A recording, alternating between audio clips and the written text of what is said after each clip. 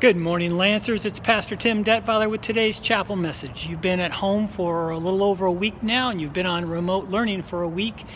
And as you can see, I'm standing out in the student union, which is empty. No students. No students means no activity, no laughter, no conversation.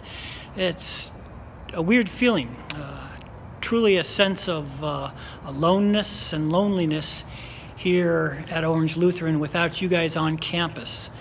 But I probably don't need to tell you what that feels like because you're more likely than not experiencing that as you are at home, separated from your friends and uh, from some family members, probably as well. And uh, that can have a tremendous effect on us. And for a lot of us, it might lead us to feelings that uh, resemble what we're going to experience as we enter into an empty and a dark gymnasium.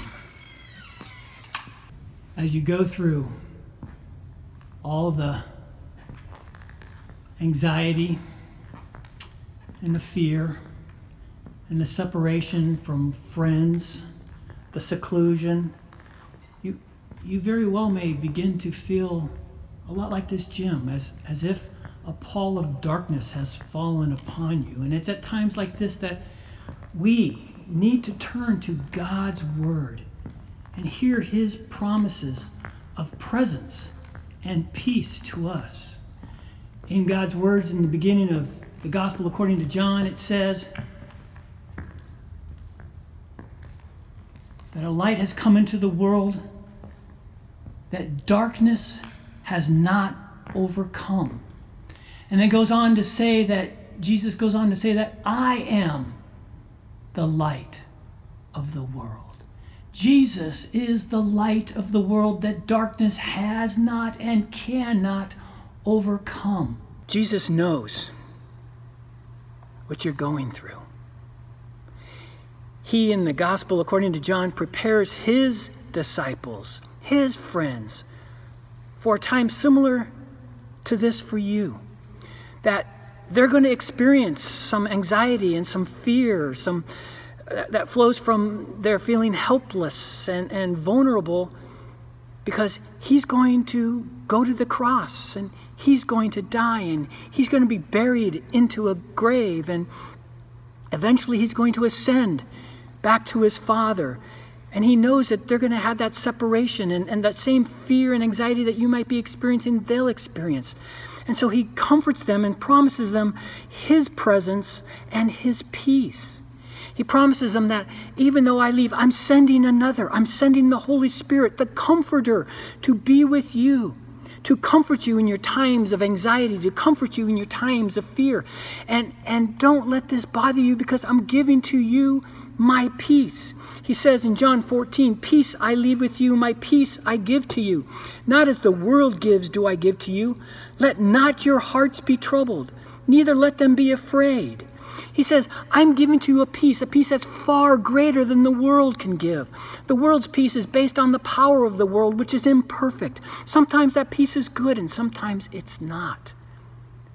It's not sure. But the peace that comes from the Almighty God Himself that's a peace that you can count on. It comes from the all powerful, all gracious God. And that's the peace God sends to you. Jesus promises for you in these times. So he says, not let, don't let your hearts be troubled, neither let them be afraid. He doesn't say that you're not going to be troubled, that you're not going to have fears. You will. We live in a sinful, broken world, and we're going to experience those fears and those anxieties.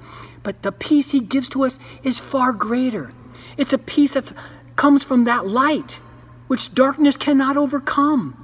So also the troubles in the world and our fears cannot overcome the peace that God gives to us. That's the peace he promises you. It's a peace that Paul later writes about and says, And the peace of God, which surpasses all understanding, will guard your hearts and your minds in Christ Jesus. Do you hear that?